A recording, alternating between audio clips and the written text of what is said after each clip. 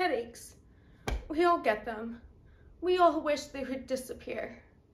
Now, there's a solution. Excedrin.